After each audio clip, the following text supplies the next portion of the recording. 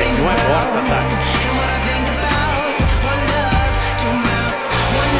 Esto es un Art Attack. Y esto es un Art Attack. Y esto es Art Attack. Y ya se nos acabó el tiempo.